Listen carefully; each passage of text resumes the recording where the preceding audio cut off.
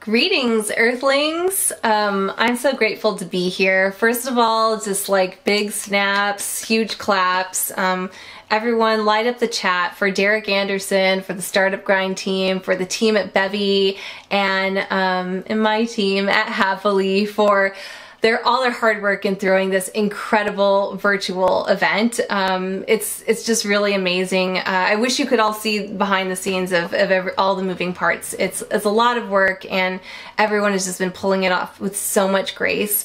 Um, so I'm Sarah Shewey, again, the founder of Happily.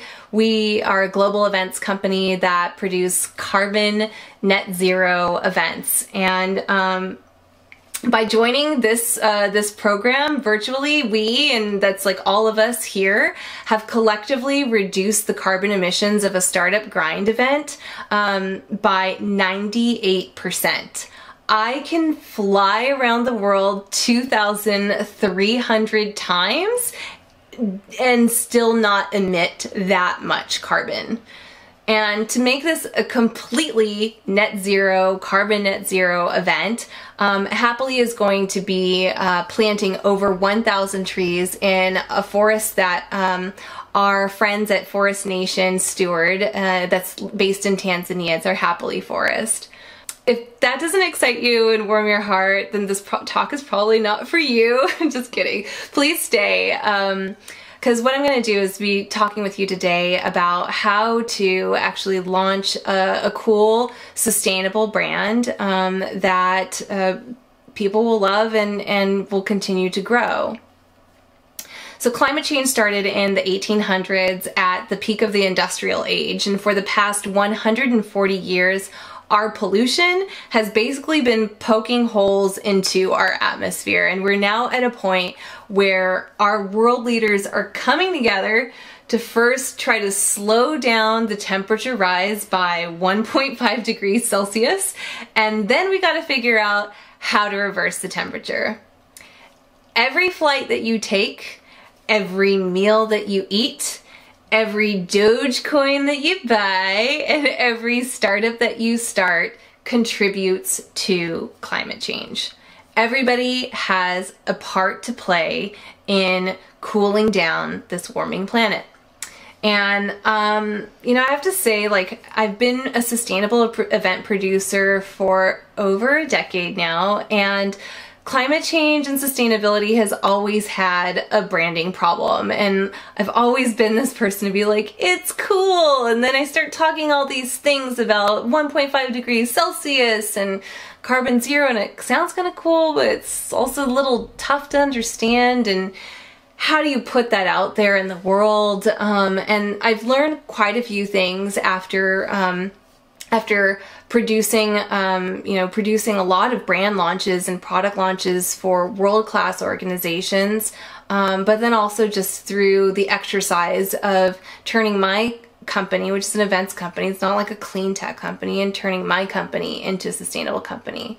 So I hope that um, you'll get some insight into how you can also turn your company and your organization into an awesome sustainable brand um, that lasts for centuries. Uh, okay, so bringing our carbon emissions down to zero by 2030 is the goal and it's going to be the most incredible achievement that humankind is will ever see, at least in our lifetimes. We are totally here for this.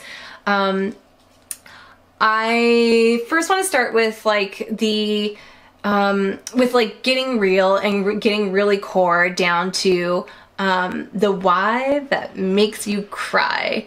Um, there are 17 sustainable development goals put out by the UN and the United Nations, and I suggest getting familiar with all of them and going deep in researching the goals that naturally line up with the product that you're building. So like if you're in finance, it could be goal one to end poverty. If you're a food company, goal two to end hunger. There's something in there for everyone and you don't have to like completely match up, but it does help a lot because um, when your mission aligns with your product, then you already have the foundation for something that's that next level where it's a it's a brand. Um, And um, when you figure out like what your sustainability mission is, what that why is, um, why would you want to have a sustainable, like what's so important to you about having um, a sustainability aspect to your company or to your product, um, write that down. Make a mission statement just one sentence, a few words, um, just to start. It's it's really you have to start somewhere, and that's really important. Um, I, I, can share a story. In fact, like I started my company in 2006 and I came across Al Gore's An Inconvenient Truth and it rocked me to the core. And I was just like really, I don't know, I was just like kind of depressed for a while, like thinking about, um, about where we're at. And it was just this huge, um, this huge boulder like how are we going to get out of this? And this this um this is really this is just really troubling and this falls on our shoulders. Um but I started looking into like okay like what what can I do as a founder? What can I do as a business? I mean I was I was I just started my company like I was nobody you know like I was working in a literally in a basement of a hotel selling AV packages, okay? And um, I, um, I found out just like researching, you know, in the events industry, in my industry, that um, we're one of the largest contributors to landfill waste. I mean, it makes sense. Like you like put up all these, you know, walls and, you know, throw, throw all these like sets and things like that away. Um, and so I just made a mission statement that said, like, I'm gonna make sure that all of my events are as waste free as possible. Um, and I posted it on on a digital wall. I made a blog post about it, and um, then like later, like days, weeks later, like not that long later, Oprah, Vogue, Condé Nast um, all found out that I was a sustainable events producer, is like working towards being like the serious sustainable events producer. And they reached out and they're like, can you share what you know? And I mean, instantly, like again, total nobody, but when I had a DBA, you know, I had a, a I had a mission statement, um, I had a purpose, right, and and I had a blog, and I and I stuck to that purpose, and that became um, a brand that really cool people, um, really cool people noticed and wanted to engage with. So, um, don't forget that you're um, even though you have like one sentence like to start you should keep building and growing on that mission statement. There's so much work that can be done. Keep putting your sustainability bar like higher and higher. Um, Next, step two is build an authentic brand. So in other words, make that shit real, yo. Look, I can't just say that I'm gonna make my events waste free and then not actually do it. That's gonna be the same for you too. It's not cool, it's greenwashing. The cool kids will see it, will smell it, and will send you, you know, right back to square one. So you, um, you know, you like, you really have to figure out how are you going to integrate your commitment to sustainability into your product or services workflow so that everybody that's in your community that's on your team your customers um, you know they can really get behind it hold you to it and really um, they're not just all there to police you know these people are going to come around you and try to help you and exchange with you. It's it's it's really awesome. And um, now once you do that, like once you actually start implementing the things, like so for me and like reducing waste, we just started to reduce waste. We just, I put fewer chairs out. Like it was, it was really simple things like that, just one step after the other. Um, and you really create and start to build a brand, an authentic, a real brand that people trust. This is how it gets done. So how do you make your brand cool? This one gets a little bit subjective and um, I don't know, it's just because like I don't think Coldplay is cool. Maybe you do, I don't know. Um, I think Blackpink is cool. Maybe you have no idea who that person is. It's not a person, it's a pop group, um, K-pop Jennie's my fave. Let's go. So you might have no idea I'm talking about. It's fine. Your emotions are real. My emotions are real. Um, and the emotions that these artists, um, that these brands evoke in us are real. And that's the real important part. um, to bring a brand to life, it has to have an emotion that people can connect with, like happily, great brand, right? Okay, so look at this girl, Greta Thunberg. She's totally cool. Why? Because before she even said a word, she put out a message with a tone of voice that is so clear. School strike for climate. Greta is angry. She's furious. She has this like schoolgirl girl rage that tapped into the hearts of a million people around the world. And that is what makes um, Greta so cool. Um, to create a tone of voice for your brand, you'll need to first define your brand's archetype. Uh, this is like the archetype wheel um, that um, that we use, and at Happily, you know, we are innovative explorers.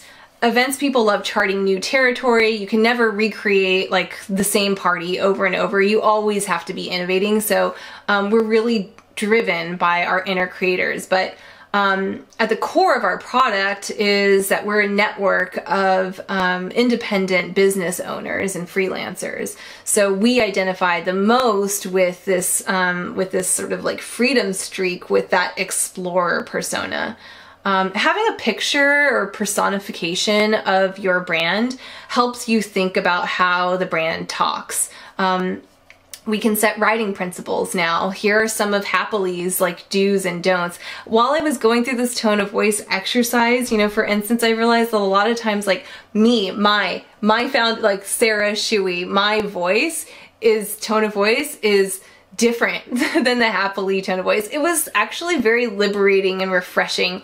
Um, you know, as your founder, just like everything is just like comes off of you and like what you do. But um, actually having like a brand tone of voice can um, can help unlock the ability for other people that are within your community to also express the similar emotions and make that really, um, really diverse and complex and just very interesting.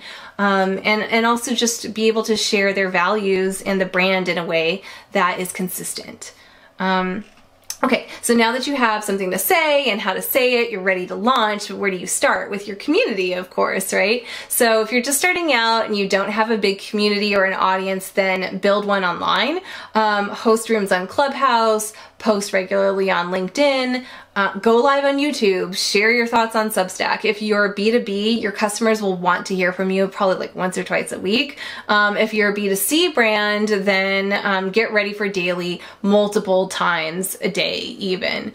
Um, prepare your content strategy uh, about a month or so in advance, but be nimble and be like very tuned into what's current and what's currently happening in your industry but globally and speak you know from anything that like a, a, that is new to like developing your ideas and your sustainability mission uh, or moves your product um, forward talk about it. Um, after you have a follower base, then it's really time for you to think about putting together an event. And events are really important because you are able to pull in um, other ideas and you're just able to accelerate um, your company and your company's values and your brand so much faster than if you do it kind of like a little bit at a time here and there. So, um, and it's fully, and it's a fully curated experience, right? So I recommend that starting out with just some monthly, um, smaller monthly events um, is great. And then build up into one big, large event where you're bringing in all kinds of people from, you know, all different communities. And then continuing that on with monthly events, or maybe you had a really great success with your event and you can do things on a more frequent basis, weekly, even daily just remember that like you always need to remind people what your brand stands for um, and about the sustainability work that you're doing and invite those folks in. Um, I'm gonna end the talk after, you know, I'm gonna end the talk with like just showing you kind of like how our brand has evolved from like this idea in a basement to um, you know to one where we we put on our own virtual event a TEDx Happily event for Countdown and we pushed our mission forward from not just reducing waste but getting to carbon zero, um, representing diverse voices and reinvesting um, in local and forgotten communities, as well as respecting the idea that world peace is possible in our lifetimes. And so with that, I'll leave you. I'll say goodbye, peace. Please stay in touch. Um, let me know, you know, how your brand is developing and hopefully we can um, see each other or even maybe create a party together soon. Bye now.